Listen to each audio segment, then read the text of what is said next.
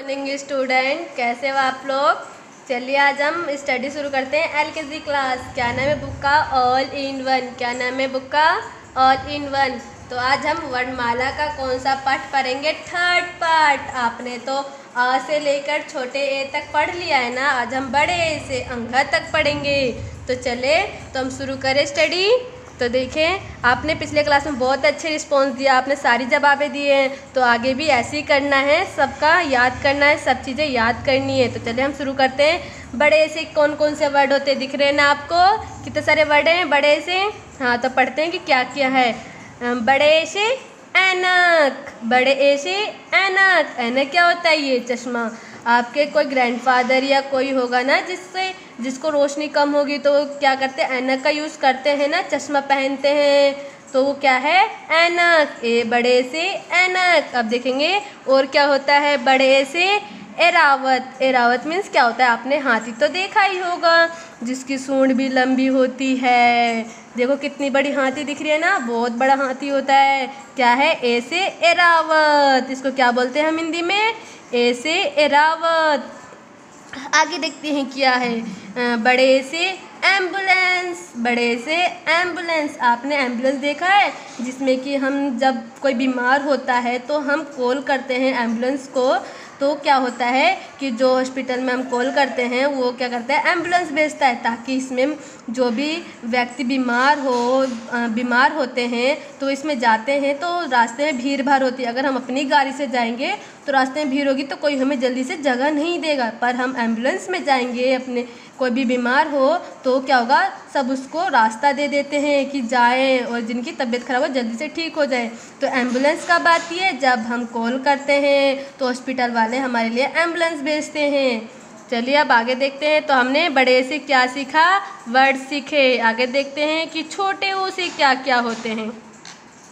देखेंगे। छोटे ओ से ओश। आपने देखा है जब ठंडी मौसम, ठंडा का मौसम होता है, ठंडी पड़ती है तो कभी कभार जब आप घास में या कहीं बाहर पार्क में जाते हो तो घास पे देखते हो ना कि छोटी छोटी बूंदें पड़ी रहती हैं। तो उसे हम क्या बोलते हैं? ओस बोलते हैं। जैसे कि दिख रहा है आपको कि ग्रीन सा ट्री ग्रीन सा पत्ता है उस पर क्या है आपको बूंद दिख रही है ना पानी जैसी तो ये क्या है ओस बोलते हैं इसको क्या बोलते हैं ओस छोटे ओ से ओस इधर देखेंगे छोटे ओ से ओखली छोटे ओ से ओखली तो इसको इसको हम ओखली का यूज़ क्या करते हैं कुछ भी चीज़ें को हमें बारीक करना होता है या फिर कूटना होता है तो हम किसमें करते हैं ओखली में करते हैं दिख रहा है आपको यहाँ पे ओखली की पिक्चर हम्म, इधर देखते हैं।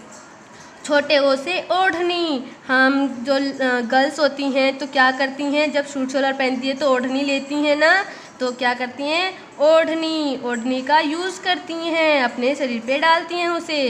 तो आज हमने छोटे से और छोटे बड़े से और छोटे ओ से कई सारे वर्ड सीखे। तो आइए और और भी देखते हैं कि क्या होता है।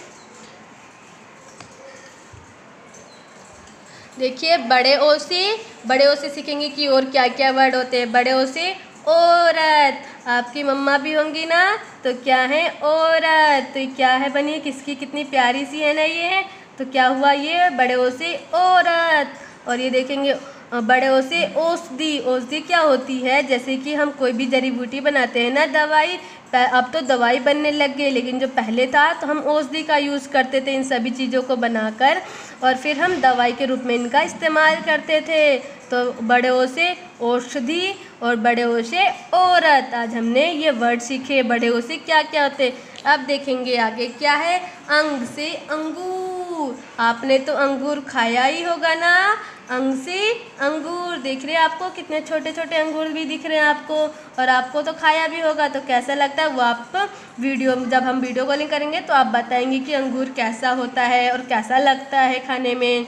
आगे देखते हैं अंगा से क्या होता है? अंगा खाली से क्या होता है? अंडा क्या होता है? अंग से क्या होता है? अंडा। अंग से क्या होता है? अंगूर। ठीक है? तो आज हमने क्या सीखा?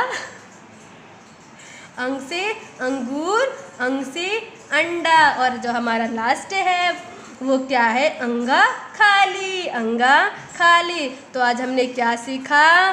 बड़े ए से लेकर, बड़े ए से लेकर अंगा खाली तक अक्षर सीखे कि क्या क्या होते हैं। तो आपको क्या करना है? आपका होमवर्क है कि आप कॉपी लेंगे, अपनी नोटबुक लेंगे और आ से लेके अंगा तक, ऊपर लिखेंगे आ से अंगा तक, ठीक है? ये आपने हेडिंग डाली, फिर आप लाइन खींचेंगे और सुंदर सी राइटिंग में क्या करेंगे? आप आ से लेके अंगा तक लिखेंगे, ठीक है? सभी बच्चे लिखेंगे ना?